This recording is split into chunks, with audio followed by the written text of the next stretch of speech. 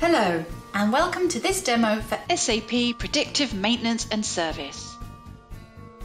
Acme Railroad is a fictitious train operator and is facing the challenge of rising maintenance costs and low customer satisfaction due to trains requiring unexpected maintenance that result in delays and service interruptions.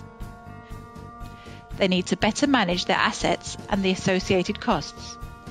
To achieve this, Acme Railroad uses SAP Predictive Maintenance and Service to constantly monitor the health of their assets, allowing them to identify early and potentially critical situations.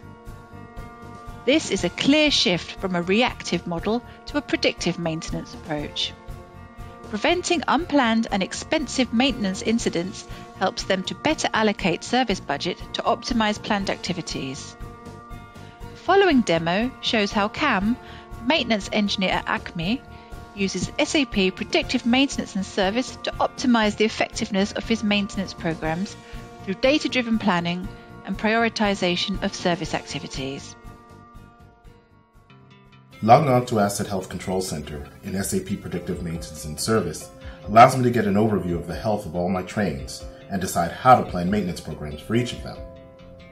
I have configured a set of insight providers which gives me all the required information I need to make quick decisions. On the top, I have a set of key figures that shows me the high and medium alerts sent from my fleet. High priority alerts indicate potential asset failures. Wow, I see 27 alerts have come in in the last 48 hours. This is quite above the average. By using the derived signals insight provider, I can begin my assessment of the situation. Let me select the battery which seems to be the most affected component. Then I'll update the other insight providers to further investigate which trains are affected.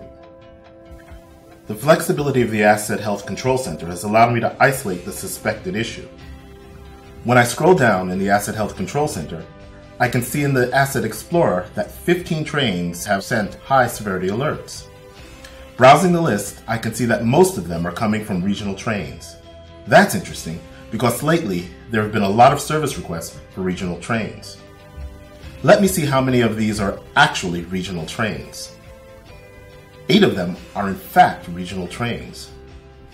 Asset Explorer allowed me to narrow down to focus on regional trains and discover that the health status of the oldest regional train, with a remaining useful life of one year, is in critical condition.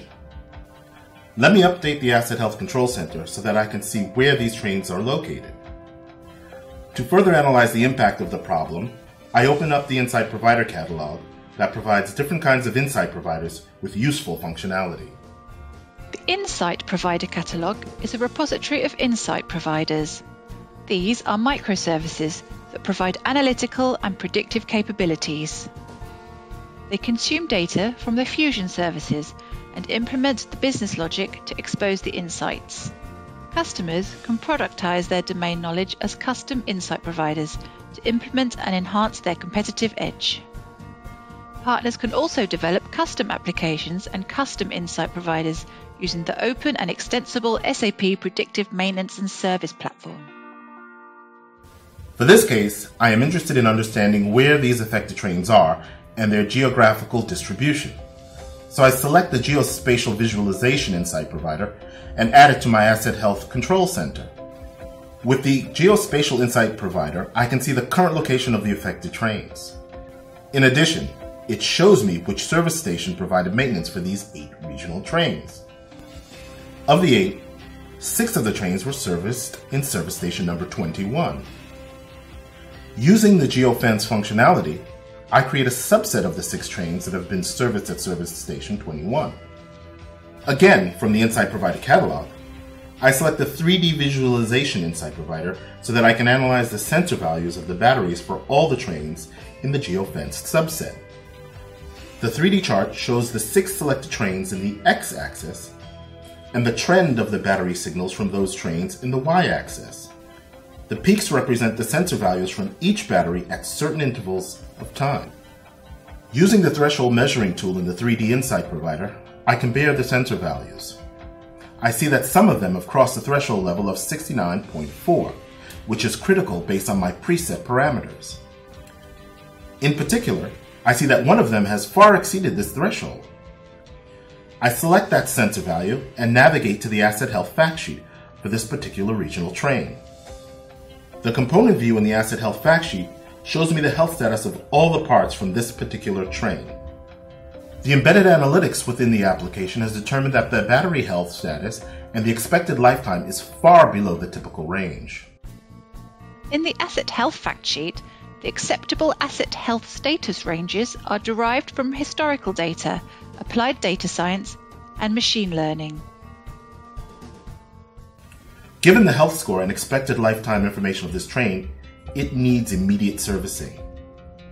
So let me create a work activity for the battery on this regional train. I enter additional details for the technician and flag it as very high priority. The work activity has been successfully created in the Asset Health fact sheet. Let me go to the Asset Health Control Center so I can access SAP Maintenance Resource Scheduling, our maintenance scheduling system. SAP Predictive Maintenance and Service can be integrated with SAP Maintenance Repair and Overhaul, SAP Plant Maintenance, and other third party maintenance execution systems. In SAP Maintenance Resource Scheduling, I see my newly created work activity below in the list. On the timeline graph, I see that this train already has a scheduled maintenance event on Thursday. The battery problem is of high severity and needs to be taken care of immediately. Let me try and find an earlier appointment to resolve this issue. I schedule this for Tuesday to ensure the operational uptime. I will bring the existing scheduled maintenance on Thursday into this Tuesday appointment to ensure first visit fix rate. Since I already know that service station 21 seems to have an issue, I selected another service station. I am back in SAP Predictive Maintenance and Service, and there is the work order in my work activities list in the Asset Health fact sheet. SAP Predictive Maintenance and Service enabled Cam to quickly drill down to properly assess the situation and identify the relevant issues effectively. Real time and historical data allowed him to act proactively and better manage his assets. By doing this, he mitigated associated maintenance costs while avoiding delays and service interruptions for his customers.